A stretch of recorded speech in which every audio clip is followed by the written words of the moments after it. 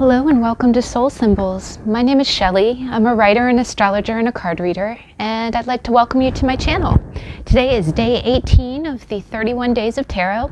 What that is, is it's a video blog sprint held by another wonderful YouTube reader named Ethony. And every day throughout the month of January, uh, tarot and card readers answer one question related to our craft. And today's question is What is your chosen or best deck for meditation and journey work? And journey work is basically, you know, introspection and just the kind of inward healing or um, meditation that you use, uh, that you use cards for. And the deck that I use, and um, I make my own bags, I sew. Um, is the Ask Your Guide cards by Sonia Choquette. And I hope I'm saying her name right. But it's a wonderful deck, and, and the bag I make, I, I color coordinate. but um, it's a wonderful deck, and what it is is it's it's a little bit of an older deck. I think it got published a little while ago. Let me see, 2005. So yeah, a little while ago.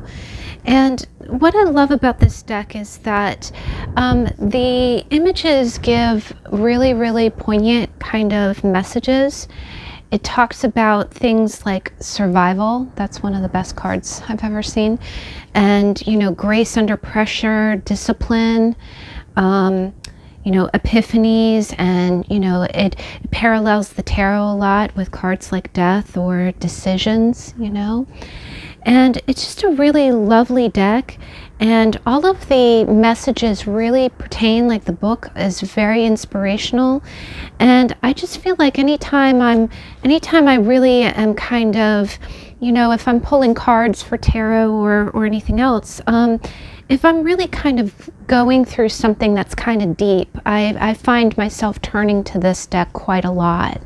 And it's it's just got it's got really poignant messages and it really speaks. It, it talks about some of the the complex things that are going on in your head and in your emotions. So I did that so that is my chosen deck for meditation and, and journey work. I'll go ahead and let's go ahead and let's pull a card. No fear. Oh you see how wonderful is that? I got purpose. Isn't that great? I really love that. That's perfect.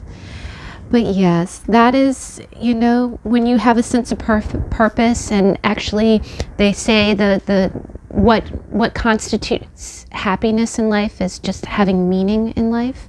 So having a purpose really plays into that, and I'm that's amazing. I'm so glad I got that card. But yes, this is my uh, chosen deck for meditation and journey work. Um, all of the names and the descriptions are in the description box below.